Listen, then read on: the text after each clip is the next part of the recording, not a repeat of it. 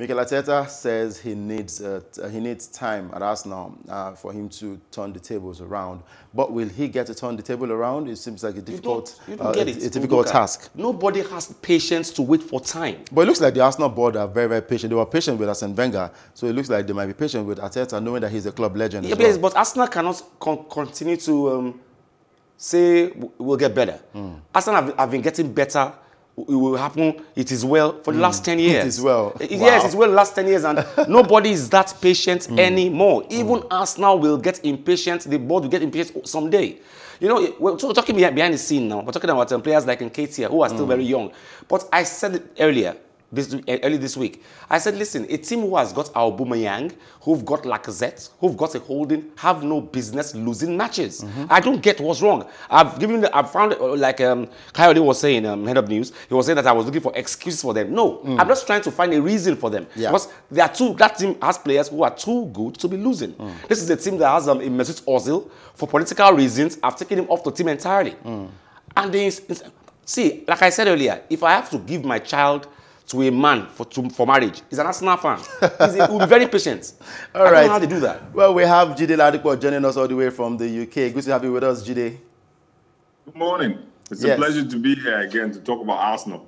I'm, I'm telling you, it's it's really really crazy that we have to talk about Arsenal when things are not going so. I, I can't remember the last time things went well for Arsenal. I mean, since the last time they defeated Manchester United, it's been down, down, down. Really, really sad results for uh, the Arsenal fans, right? There. are you married?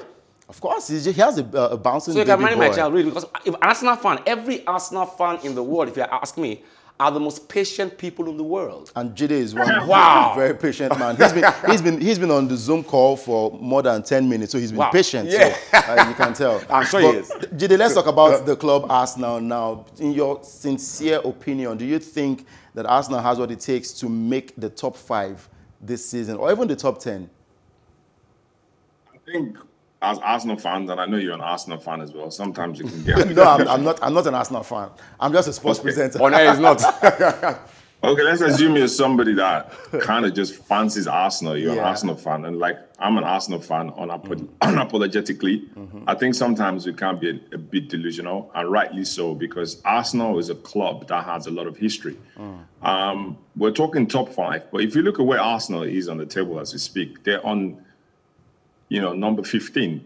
They're three points, or maybe just around five points away from relegation. Relegation zone. So they're fighting the battle of their lives. The conversation we should be having right now should be heading towards the direction of how does Arsenal survive, you know, staying in the Premiership this season? Not about, you know, um, whether Arsenal is going to make top five because they're definitely around 11 points away from the fifth position. Everton, who they're playing today, are the ones holding that spot at number five, and they've got 23 points. So Yeah. the conversation shouldn't be about whether Arsenal is going to make top five. I've actually lost hope that they would qualify for any European competition this season. So top five, in my opinion, is out of it.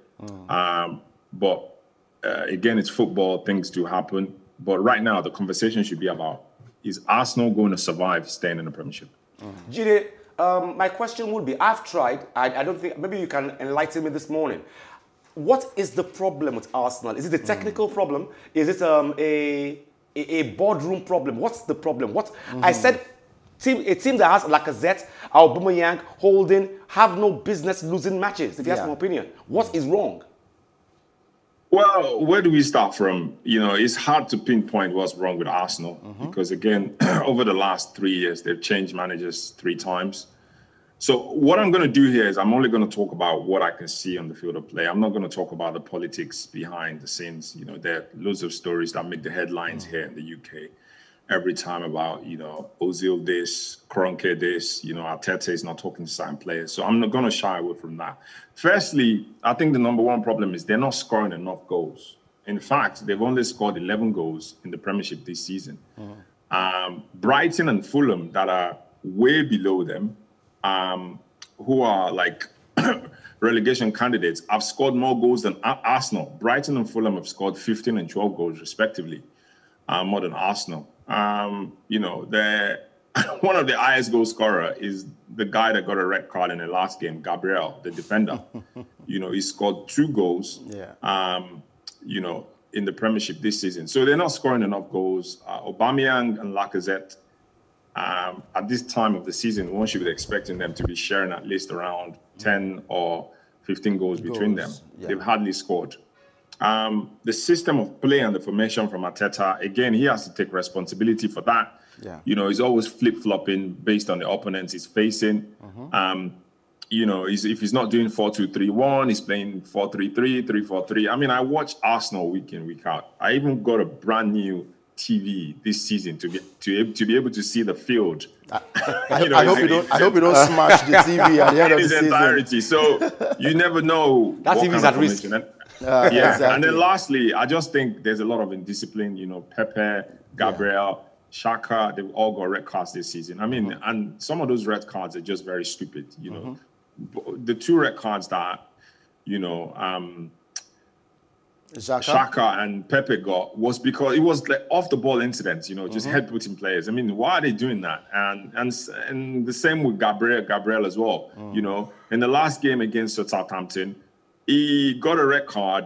Um, he got carded between uh, a space of two minutes. You know, so and that will lead me to the last thing that I think is wrong with the club: Mm. ownership and leadership. Um, obviously, Arteta has to be responsible for you know, man in the saddle uh, Mm. is the is the captain of the ship, but also the players have to take responsibility as well. Yeah. You know, you have Jide, to your TV, your, to okay. Yeah. your TV is at risk. Please don't smash it. I don't think I'm that temperamental. okay, now um, most of the Arsenal fans, well, they are torn between. Um, some are supporting Mesut Ozil and some are against Mesut Ozil. But do you think the club misses the services of Mesut Ozil in the midfield of the uh, of the team? Of course they do. I mean, one of the issues that they're dealing with right now is they definitely do not have a midfielder who can help change things when the chips are down. You know, uh, Mesut Ozil is a guy that can, you know, pick a pass from 5,000 yards. He's not there at the moment. Um, for the life of me, I don't understand why your highest paid player would be sitting, you know, outside of the team. Yeah. You know, he's not even playing the reserve games. So, um, and the young creative midfielders that you have, people like Emile Smith Rowe, they hardly make the first team. They only play um, UEFA Cup games. So they're definitely lacking a lot of creativity in the squad. Yeah. Um, they miss Mesut Ozil. I think the problem that Mesut Ozil has with Arsenal, and I'm going to kind of like uh, digress a little bit here, is the last two coaches that have come in, their style of play doesn't accommodate someone being lackadaisical. You know, you come on the pitch and then you put in 110%. If your team is out of possession, you come and play for the team. You don't act like, oh, you know, you're Lionel Messi. Even Lionel Messi does track back.